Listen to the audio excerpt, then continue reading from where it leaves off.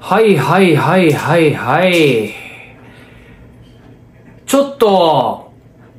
残念なことが起きてしまいました。吉川直樹選手が CS、DNA と試合しますけども、ちょっとそれに出られないというような記事がありましたんで、それについて少しお話ししていきたいなというふうに思ってます。てな感じで始まりました、小山翔平ベースボールチャンネルです。今日も最後まで見れてください。よろしくお願いします。はい、このチャンネルはですね、元読売巨人軍の選手であった僕、小山翔平が、ジャイアンツ情報を中心に発信しているチャンネルになります。またの方いらっしゃいましたら、ぜひチャンネル登録をよろしくお願いします。はい、そんな感じで今日やっていこうかなというふうに思ってるんですけども、いやー、ちょっとショッキングっすね。うん、ちょっとね、本当に、直樹さん出られるかなって思ってたんですけど、少しね、やはり脇腹の状態が悪いというところで、CS には出ないと、うん、出れないというようなね、えー、記事がありました。じゃあ、一体どうすんのって、うん、誰が代わりになるのみたいなところを中心に今日お話ししていきたいなというふうに思ってます。そのお話をする前に、まあ、直樹さんの、まあ、今期の成績であったりとか、まあ、どういう活躍活躍をされたのかっていうところを見ていきたいと思うんですが、まあ、今季、吉川直樹選手は、全試合出場なんですね。143試合、えー出場しておりまして、打率が2割8分7厘、5ホームラン、46打点、OPS が718という風になっています。開幕時は8番を打ってたんですけども、どんどん調子上げていきましてね。うん、まあ皆さんも知ってると思うけど、どんどん調子上げていきまして、特に、し、えー、中盤を超えたぐらいからですね、もう非常にいい調子をずっとキープしておりまして、打率もぐんぐんぐんぐん上げていきまして、最後3、えー2割8分7厘か、というところでフィニッシュしております。もう最後に至ってはもう3番を打っててですね、はじめ開幕時に8番打ってたバッターだとは思えないとというようなね、え存在感までなっておりました。まあもともと彼というのはですね、彼っていう言い方あれですけども、吉川選手はですね、非常に今能力高くてですね、まあずっと期待されてましたし、あのそれぐらいやれるだろうというふうにみんな、みんな思ってました、そういうね。で、えー、まあ直樹さんはですね、まあバッティングももちろんなんですけども、やはり守備でプラスを作れるというかね、もう、まあ僕が12球団で間違いなく、もうダントツでナンバーワンにうまいと。今ね、えー、もともとは菊池選手とか言いましたけども、僕は今で言ったら絶対ナンバーワンだというふうに思ってます。まあ、バッティング、もちろんね、3番打者を打っているわけですから、非常に中軸というか、あ軸ではあるんですが、やはり、守備というところですね。守備で何点防いだかわからないと。今年、本当にそういう指標があったらね、見てみたいなと思うんですけど、吉川直樹選手がセカンドを守る上で、守った中で、ジャイアンツの失点をどれぐらい防いだかっていうのをね、本当にわからないぐらいね、どんだけ防いでんだっていうぐらい、守備でもそれぐらい貢献をしてくれました。はい。で、その選手が、まあ、CS に出場できないと。を出場しないというところで、じゃあ一体誰がその代わりになるのかっていうところをお話していきたいんですけど、まあ、あのー、1軍2軍でね、うん、どんな感じで、あの、セカンドが起用されてるかっていうところを見ていきたいと思うんですけども、先ほど言ったように吉川選手が143試合全部出てますんで、あのー、スタメンでね、出てますんで、あの、143試合ね、吉川選手が出てるんですよ。その他で1軍で言うと、中山選手4試合、湯浅選手4試合、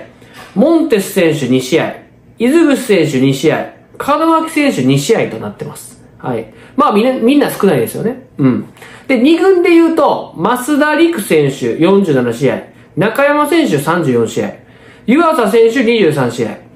増田大輝選手10試合、中田選手8試合、伊豆口選手5試合となってます。で、あのーおそらくですが、まあ、吉川選手の、まあ、脇腹が状態が悪い、まあ、おそらく骨折してるんじゃないかなと僕は思うんですけども、多分ね、えー、そういうこともあろうかというところで、おそらく、まあ、安倍監督はね、もう事前から考えてたと思うんですね。その中で、まあ、フェニックスリーグの起用法なんかを見てるとですね、中山選手と増田大輝選手、まあ、この二人が、まあ、セカンドを守ることが、ああ結構多いので、まあ、この二人を、まあ、CS でどちらか使うというふうに考えてるんじゃないかなっていうふうに僕は思ってます。はい。で、えー、まあ先ほども言いましたように、セカンドの候補何人かいるんですね。で、一人一人ちょっと見ていきたいんですけども、まず一人目、モンテス選手。まあもともと内野手の選手で、入ってきた投手なんかは、吉川選手のバックアップもできるよっていうふうに言われてました。ただ、今現状、チームの外野手見てるとですね、怪我人があまりにも多いと。うん。4人抜けてるのかな？っていうのがあるので、モンテス選手がセカンドを守る。少しこれは現実的じゃないかなと思います。おそらく、まあ、レフトでの出場になるんじゃないかなって僕は思ってます。で、二人目ですけども、伊豆口選手ね。うん。伊豆口選手も非常に、まあ、あの、ショート守ったりとか、セカンド守ったり、えー、今年してましたけども、やはり、えー、最後の方ですかね、終盤、シーズン終盤、セカンドを守った時ありましたよね。その時に、まあ、ベースカバー遅れたりとか、まあ、いろいろ結構、まあ、初歩的なミスがね、あったりとかしたんで、やはり、ああいう印象というか、ああいうところを考えると、頭から、スタートから、伊豆口選手セカンドという風にスタメンで起用するのは、少しちょっと、僕の中でも不安はありますし、安倍監督の中にも不安はあるんじゃないかなって思うんで、僕は伊豆口選手のセカンド起用っていうのはないのかなと思ってます。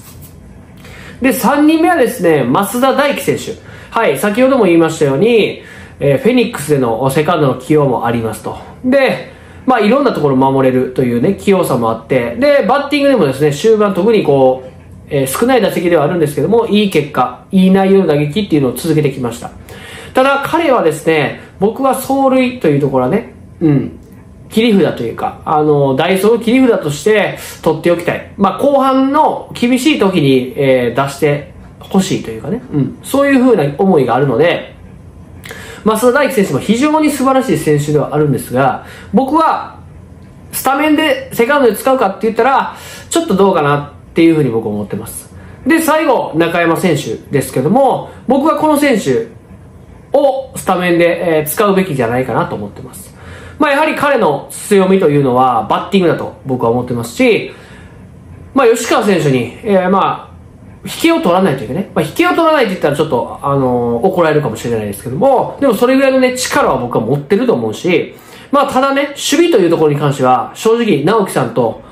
比べるレベルじゃないと思ってます。圧倒的に直樹さんの方がいいとは思ってますけども、まあ、そこをね、あの、言っても仕方がないので、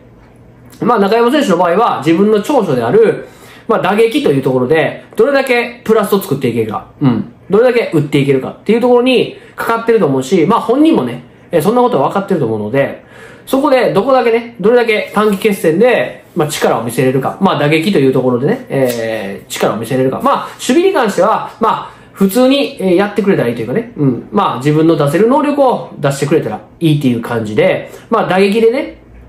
まあもしかしたら吉川選手よりもプラスを作れるというかね、えー、いい打撃をできる可能性もあるわけですから、こんだけ好調なんでね。うん。っていうところがありますから、彼は、まあ、セカンドで出てもですね、まあ、バッティングというところを特に、えー、意識してね、うん、自分の長所を活かしてというところを、存分に頑張ってもらいたいなと思ってます。で、打順の起用、打順についてなんですけど、おそらく僕は、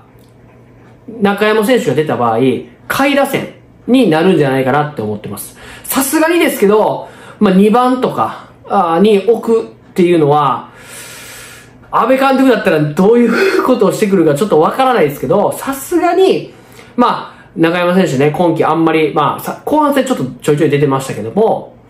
まあ、そこまで出てる選手ではないので、いきなり CS で、2番で、セカンドでって言われると、ちょっとこう、荷が重いのかなっていう風なところはね、えあると思うので、まあ中山選手がスタメンに出たとしても、まあおそらく下位ですよね。7番とか、そのあたりになってくるんじゃないかなって思います。で、えー、まあ、オコエ選手もなんかもね、非常に状態がいいというところがありますんで、僕はオコエ選手を2番に置く。まあ、浅野選手もね、ちょっと腰がどうとか、ちょっとありますんで、僕は好調のオコエ選手をね、2番センターとかに置くっていうところが、結構今のところベストなんじゃないかなっていうふうに思ってるんですけど、あの、皆さんのね、意見もね、え聞かせていただきたいというふうに思うので、ぜひね、直樹さんの怪我に関することでもいいですし、まあ僕が中山選手を、まあ起用した方がいいんじゃないかっていうような意見に対することでもいいいいので、ぜひね、コメント欄で皆さんの、本当に僕よりね、えーあの、詳しいというか、僕より、え野球に対して、ジャイアンツに対して詳しい方が非常に僕の視聴者の方には多いので、ぜひね、いろんな意見を聞かせていただけると嬉しいと思ってます。はい、そんな感じで、吉川選手がちょっと出れないというところ、まあ、少し想定はしてましたけども、あの、まあ、日本シリーズはね、えー、しっかりね、ヘルナンデスと、吉川選手、どちらもね、揃って出てもらいたいというふうに思ってますし、まあ、そうなったからにはですね、え中山選手、まあ、中山選手じゃないかもしれないですけども、それ以外の選手にも期待してですね、えー、この動画を終わらせていただこうかなというふうに思っております。はい、そんな感じで今日は終わってきます。いつもありがとうございます。これからもどうぞよろしくお願いします。そんな感じで今日は終わってきます。じゃあね、バイバイ。